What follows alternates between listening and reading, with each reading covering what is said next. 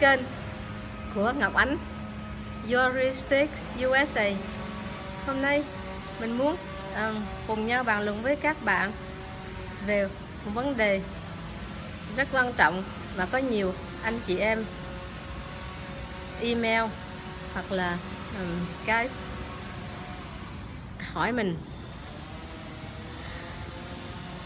Cái đề tài đó là như vậy. Chị ơi em chỉ làm vừa đủ ăn đủ trả tiền chi phí à, à, làm sao để dành tiền để đầu tư bất động sản để lo cho tương lai? Ai cũng biết nếu mình không biết để dành tiền thì về già mình sẽ khó khăn. Người Mỹ ai cũng hoặc là đầu tư chứng khoán hoặc là họ đầu tư bất động sản để sau này khi già thì bán cái tiền chứng khoán bán chứng khoán lấy tiền nếu mà đầu tư hơn. Nhiều người sở thích đầu tư bất động sản, họ cũng mua một một, hai, ba căn hộ là cho thuê. Tại vì cho thuê thì lấy tiền thuê, trả tiền mượn ngân hàng. Rồi khi trả trả hết tiền ngân hàng thì cái nhà, thì cái bất động sản thành của mình. Bất động sản mua đúng chỗ, đúng giá thì nó càng ngày càng lên giá. Hai 10 năm 20 năm sau, khi mình lớn tuổi hay là mình cần tiền thì mình bán và cũng có tiền. Thì thì là ờ, vậy mình đã nói cho các bạn mà nhiều chuyện là ờ, cái nhà của mình là cái bất động sản chánh của mình. Bước đầu là phải kiếm để dành tiền để mua được căn nhà. Sau khi mình mua được căn nhà rồi mình dư giả tiền thì mình mới đầu tư bất động sản tiếp tục. Mình dùng căn nhà của mình làm đòn bẩy tài chính nhưng bây giờ nếu mà mình à, không đủ tiền không có tiền để đặt cọc thì làm sao mình mua? Đánh lương tháng nào ra thì chi hết tháng đó. Thì uh, những nhà tài chính họ hướng dẫn như vậy bạn. Bạn lấy bạn lấy ra quyển sổ ra bạn viết một bên là những chi tiêu cần thiết. Đi chợ trả tiền thuê nhà ờ, trả tiền điện ờ, vân vân là cần thiết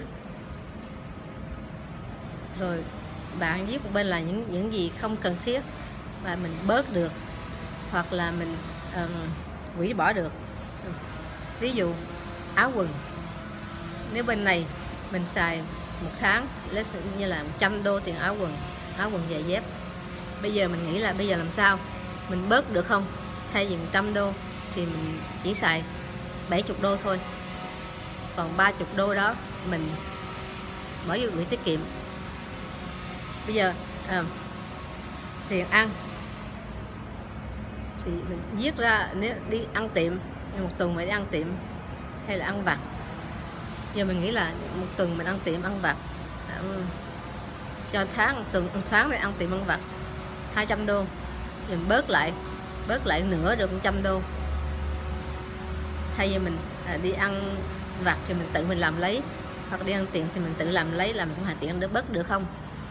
Nhiều thay vì mình đi ăn cà phê, uống cà phê Starbucks phải trả tới 6 7 đô một ly cà phê. Thì bây giờ mình à, mua cái cái Starbucks mà cà phê nó xay sẵn rồi mình làm. Ở nhà thì mình cũng trả mình bớt được nữa. Thì nếu là mà mà cái một một bảy bảy đồng một ly cà phê Starbucks một tuần à, bốn lần thì là 28 đô. Một năm là cũng gần cũng là hơn trăm đô. Thì mình bớt không mình bớt được không? Bớt được hay là mình mình hủy bỏ luôn cái đó mình làm cà phê ở nhà. Thì, đó, thì nếu bạn tính vậy được cái lòng tháng bạn cũng bỏ vô được vài trăm đô. Hạ tiện bớt. Thay vì thay vì mình um, phải bắt buộc là phải đi ăn rau Việt Nam mua ở chợ Việt Nam uh, ở bên Mỹ ha, tốn quá thì giờ mình ăn mình bớt thì mình ăn rau Mỹ. Rau Mỹ nó rẻ hơn. Bây giờ mình đi mua những cái trái cây từ Việt Nam mà sầu riêng này kia nó mắc quá thì mình bây giờ mình mình mình đừng ăn đó nữa một thời gian nên là ăn chút ăn lần lo ăn chút xíu thôi vậy đó để tiền để dành. Tại vì mình phải mua cái nhà của mình. Khi nào mình có nhà rồi mình có tiền rồi muốn ăn gì mình ăn ha. Ăn thả cửa không? Như giờ để thôi mình là mình có nhà có cửa có gì hết đó, thì mình muốn ăn gì ăn mình làm mình mình muốn làm thả cửa. Hồi xưa là mình cũng có là là 5 năm là tiết kiệm kinh khủng để có cái vốn chứ bạn thấy bạn một bên là bạn là bạn để một cái cái list những cái những cái gì cần thiết. Một bên bạn để cái, cái list những cái gì uh, không cần thiết có thể giảm hay bỏ được. Thì bạn bạn thấy là có nhiều cái lắm mà có nhiều cái và bạn cũng giảm được lắm bớt được lắm mà. để để mà mà phải dành tiền. Thì thế nào nó cũng có uh, cũng có tiền. Bên Việt Nam cũng vậy. Rồi bây giờ nói giờ mới muốn muốn mình phải làm gì để có có thêm tiền. Có phải có thêm tiền ngoài công việc mình làm. Thì um, mình nghe nói ở Mỹ hay Việt Nam cũng vậy á thì à, sau giờ làm việc á thì à, các anh ở bên Mỹ á, thì anh hay chạy xe xe Uber. Chạy xe Uber trong giờ là sau giờ làm việc hoặc là à, thứ bảy chủ nhật chạy một chút để, để kiếm thêm tiền.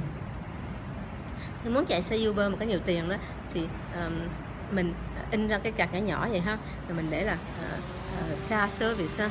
Rồi cái uh, uh, để car service Uber cái mình đi tới những cái chung cư mà có hay có hay có người uh, hay có người lớn tuổi đó. Thì thì uh, họ hay họ hay dùng xe Uber lắm cái mình để mình bỏ mình mình nhét chỗ cái chỗ cái cửa người ta mình mình nói là mình có rồi mình tới những cái nhà đó cái mình để cạc đó mình nhắc chỗ cửa người ta là mình có xe có Uber. Tại lúc nào lúc nào có xe cũng như cũng cần á. Có nhiều khi mình có xe mà ngày đó mình mệt mỏi mình mình mình mình bệnh muốn đi bác sĩ nào mà chồng mất đi làm không ai chở được thì thì cũng kêu Uber nhưng mà mình nói là mình hàng xóm mình gần thì họ tin tưởng hơn. Tại vì là mình làm biết mình biết biết mặt là khi nào mà đi một lần rồi đó mình đưa cạc cho họ rồi sau này tự họ kêu mình à, tự họ kêu mình nè. Cái là mình có một à, mình mình sẽ có một cái một lượng khách hàng mà mà chuyên môn. Là là quen biết nhiều khi họ cần họ cần chuyện gì hay là xe hư này kia họ kêu mình tới rồi mình rồi phụ họ ờ, đem xe họ tới chỗ chỗ gara này kia họ cũng kêu. Thì mình thành service rồi trong đó mình để là handyman. Thì mình à, mình vừa làm Uber mình vừa làm handyman. À, mình để handyman á, uh, reasonable price là thì là um, những những cái người lớn tuổi ở trong nhà hay là những nhà họ hay có những cái như là ống nước kẹt này kia mà mà sơ sơ đó thì ờ, thì họ họ kêu mình à, hàng xóm là biết là họ kêu rồi, mình, rồi, rồi họ trả tiền cho mình. Thì là mình mình làm dịch vụ ờ, lái xe là mình làm mình để mình làm quảng cáo dịch vụ handyman. Trong cái chỗ mình ở hay thường thường có những cái tờ báo mà không không không có tốn tiền đó bạn. Bạn vô tiệm siêu thị bạn thấy ở ở chỗ cửa nó có những tờ báo mà không tính tiền đó. Người ta lấy lấy gì không có lấy tiền đó cho báo báo cho không á thì mình đăng chút quảng cáo chắc chừng 10 đô 20 đô một giờ mình lấy là handyman special car service vì cái họ có xe nhưng mà họ họ đi du lịch thì họ đâu có muốn đem xe để về trường. Để về trường là cũng cả là chín mười đô một ngày. Thì họ kêu Uber thì nó kêu thì là nếu họ biết là mình để mình để số để tên mình để mình để tên họ biết là một lần hay là họ biết mình ở gần đó thì họ tin tưởng hơn là gọi người lạ. Cái đó là uh, mấy anh cái đó kiếm chờ tháng kiếm được cũng vài trăm năm sáu trăm như chơi đó bạn. Mà nhẹ nhàng. Um, à, có khi thì mình cắt cỏ cho người ta người ta cũng trả tiền á. Mỗi lần cắt cỏ thì cũng bốn năm chục đô tùy theo sân lớn sân nhỏ. Giờ nói chị phụ nữ mình làm gì thì à, mình à, giữ em giữ em phải giữ em ngày nào cũng giữ. Vậy là người mỹ nó có con khi nó khi đó đi con nhỏ khi nó muốn hai chồng muốn đi ăn muốn đi muốn đi coi cine một mình á thì hỏi kiếm babysitter. Thì mình cũng làm mình mình nếu mình có chồng mình để dính vô cái cạc của ảnh luôn á là mình là babysitter service thì mình à, hoặc là đem em bé tới nhà mình hoặc là mình tới nhà họ mình ngồi giữ buổi tối. À, thì là là là cũng cũng có kiếm tiền thêm. Hello, hello. how are you? Thì um, thì cũng là có kiếm tiền thêm. Rồi nếu bạn muốn có kiếm tiền thêm nữa đó bạn coi chung quanh chỗ mình nó hay có hội hội ờ, phe rồi của của Mỹ đó. Cái bạn ờ, bạn ờ, bạn nấu một bạn nấu một một một, một mâm chả giò. Chả giò nó dễ bán ha. Bạn bạn nói bạn làm chả bò giò bạn chiên sơ trước chiên sơ trước á. Xong cái mình ra cái chỗ phe đó cái có chỗ nó cho mình nó cho mình ngồi không tốn tiền.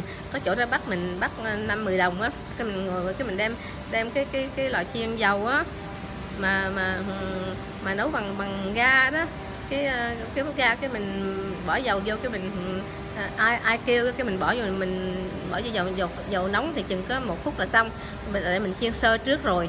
Giờ là bán cái đó bán chả giò đó hơn bán uh, uh, gỏi cuốn. Gỏi cuốn thì cực hơn tại gỏi cuốn là mình là là là mình phải uh, uh, gói ờ, mình phải phải gói sáng đó mình gói cái để lâu có được ha.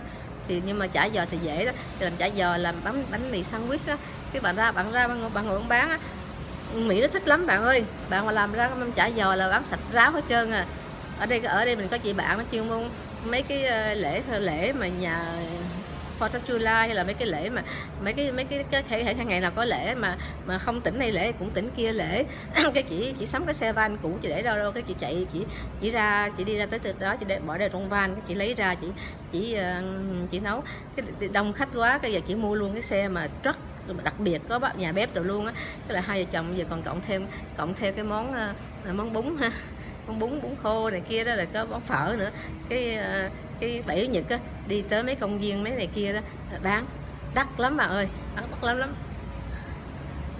Rồi thành thành thành ra tùy theo sức của các bạn thì mà làm làm giữ baby hay là làm um, nấu một mâm chả giò dao hay, hay là bạn liên lạc với những người mà tổ hay họ tổ chức ờ, cái là event planner họ tổ chức uh, birthday hay là wedding đó. Cái bạn bạn bạn ừ, bạn nói ừ thì tôi giao cho chả giò nè tôi giao cho mấy cái món đó là người ta thích lắm mỹ nó thích lắm. Đó là một cái làm babysitter làm nấu thêm. Rồi còn còn còn bạn làm bánh ngon đó cái bạn làm thử. Khi mà bán chả giò bạn làm thử hai ba ừ, mấy mấy cái bánh vậy đó. Cái xong cái cái cái tới chỗ đó cho người ta ăn thử người ta thích người ta mua. Thì là nó là những bạn nấu ăn giỏi gỏi. Họ cũng thích lắm. Gỏi gỏi ờ, gỏi đu đủ hay là gỏi gỏi ờ, mấy gỏi mấy gỏi mà mình không biết nói giờ mà mình nó thích nó thích ăn gỏi lắm. Ăn gỏi ăn gỏi cuốn nè, ăn ờ, ăn chả giò nè, nó thích lắm. Phở thì rắc rối chứ mình phải đủ thứ phải đem đồ nóng này kia rắc rối. Nhưng mà có người có người ta làm luôn thùng phở luôn các bạn. Đó là một cách ừ, mình hướng dẫn phải cách để dành tiền. Bạn làm như vậy là là một năm bạn cũng để dành được, bạn cũng để dành thêm cũng được 10 ngàn 20 ngàn đô ha thì bắt đầu đó là mình bắt đầu mình thu, góp vốn để mình, mua nhà bắt đầu đầu tư bất động sản. Chào các bạn nha. Bye bye xin hẹn lại gặp cái ờ, video sau. Các bạn hãy nhớ à, subscribe like subscribe và ấn chuông để có được video mới nha. Bạn theo dõi kênh của mình thì mình hướng dẫn cho các bạn những cách để thành công à, làm giàu. Tại nước nước Mỹ người Mỹ nó giàu lắm thì mình à, mới định cư qua mình hơi khó khăn nhưng mà sau đây mình cũng sẽ giàu như họ ha. Bye. We'll be right back.